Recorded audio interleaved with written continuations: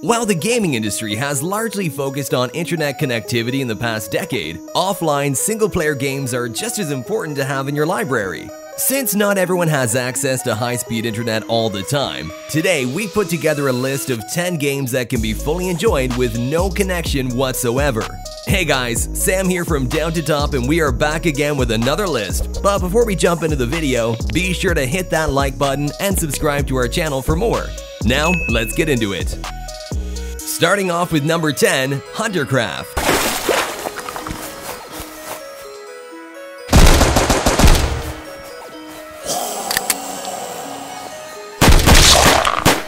This is a Minecraft-style survival shooter game where most of the world's population has turned into zombies and the rest of the people are just trying to survive. You slip into the shoes of one of these survivors, and your task is to clear the world of the dead and walking skeletons. In the game, you can explore freely the wide open world and gather resources for your survival. Also, the game features various types of weapons which you can use to kill zombies. You also have to monitor your health, hunger level, and feed yourself to survive. In addition, the game also has a day and night mode, which makes it more interesting. So overall, I really like the graphics of the game, but it could do with a better storyline.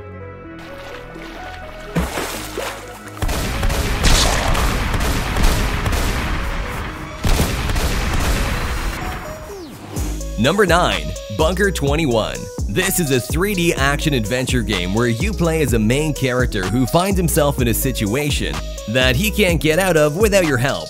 In the game, you gotta solve different riddles and puzzles and collect different resources to survive. So the game has over 4 different chapters where your mission is to find a secret laboratory, fight with many different creatures, and figure out what is happening. Overall, this one's a great game and has a great storyline too. Number 8. World War II FPS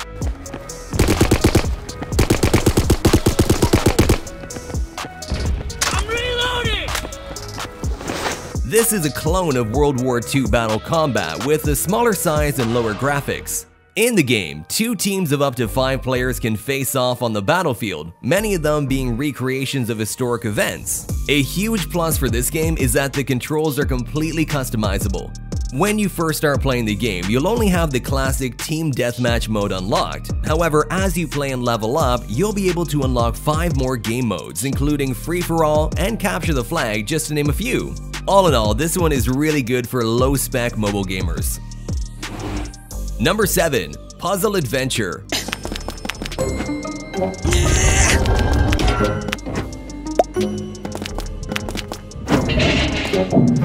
This is an adventure game where you go on countless quests and investigate many murder cases and fight a series of different evil monsters.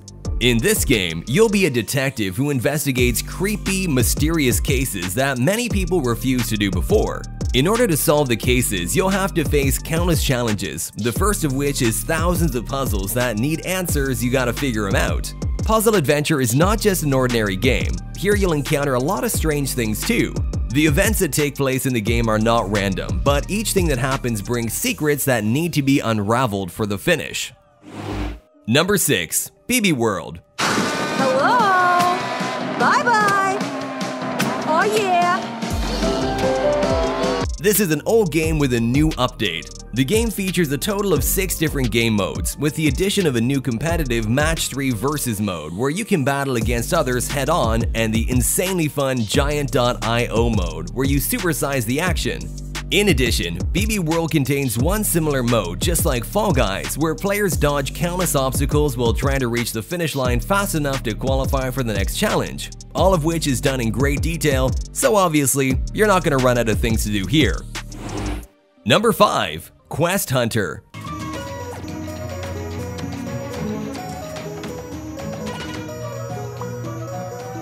This one's an isometric action RPG where your choices drive the story forward. It'll see you finding tons of treasures and secrets, solving puzzles, equipping your character, leveling up your skills, and finishing off enemy bosses. You'll be able to play solo, with friends, or make it an online party with up to 4 players. All in all, it's just a fun little adventure RPG that can help you kill up to 15 hours or so. The story is quite repetitive and the combat is simplistic, but it is a good game to relax with while watching a TV show after a day of school or work.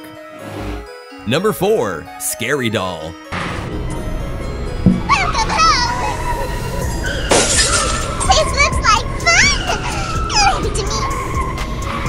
This is a dark, first-person quest-type game made in a style of classic horror from the developer of Smiling X series. The game tells in great detail a gripping and ghosty story that'll plunge you into an unreal nightmare of reality. Interesting and rather difficult puzzles await you, which will help to reveal a terrible secret to help save a child. To do this, you have to carefully examine a strange house that's located in the middle of a cursed forest. The main character of Scary Doll is a young woman whose daughter has disappeared. Overall, it's a really good horror game. Number 3. Where's Samantha? This is a physics-based puzzle platformer game which follows the adventures of George, a scrap of fabric who travels through to a cloth world to find his beloved, Samantha. So your main job is to help George as he searches for his lost love Samantha, overcoming puzzles and obstacles in this hand-drawn textile world. The game features 45 levels of physics-based puzzles of varying complexity where you can use weight-splitting techniques to solve them. The graphics are all beautifully hand-drawn and just looks amazing. Number 2. Steel and Flesh 2